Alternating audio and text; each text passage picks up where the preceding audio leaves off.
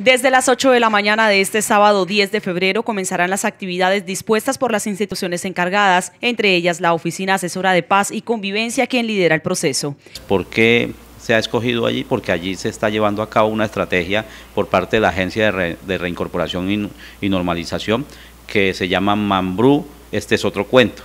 Eh, es un proyecto que busca llevar eh, alguna acción que, que separe a los niños de las actividades delincuenciales, del tema del consumo de alucinógenos y con ellos hemos, nos hemos articulado. En este espacio, según los organizadores, se enviará un mensaje para prevenir los actos ilegales con niños por parte de grupos delictivos asentados en el municipio y la región.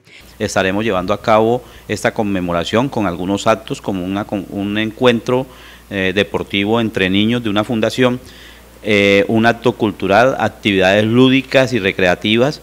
Eh, para esto nos hemos reunido diferentes instituciones que nos interesa el futuro de nuestros niños en Barranca Bermeja. Mambrú, este es otro cuento. Así se denomina la actividad con la que se conmemorará el Día en contra del reclutamiento infantil, panorama que según Luis Eduardo Velázquez, asesor de paz y convivencia, ha reducido significativamente en esta zona debido a los acuerdos de paz entre las FARC y el gobierno.